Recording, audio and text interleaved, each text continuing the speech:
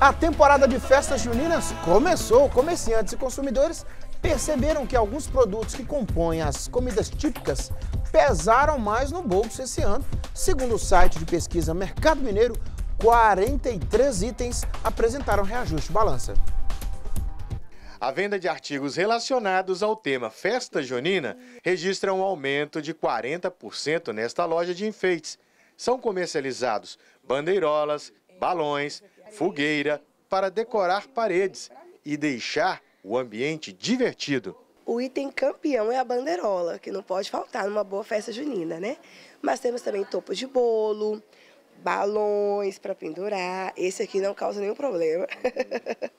Enfeites de parede, como fogueira, personagens, muitas caixinhas. Desde assim do início, do final do mês de maio já começou.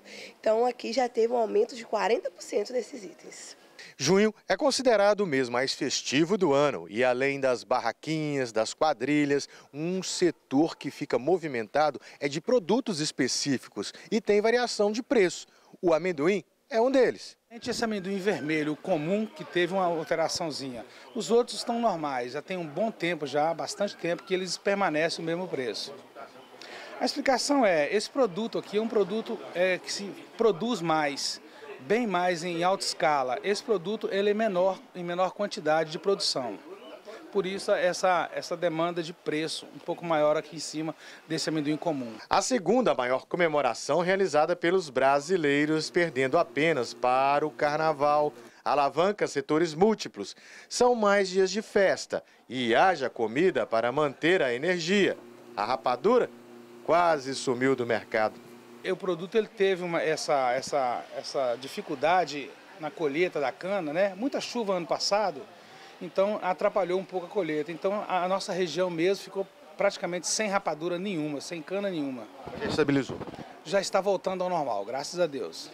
Outros produtos, como o milho, a mandioca, também são bastante procurados. Cheiro verde para os caldos. Hum, mas nada iguala a venda de canjica ou pé de moleque, comidas típicas do mês de junho.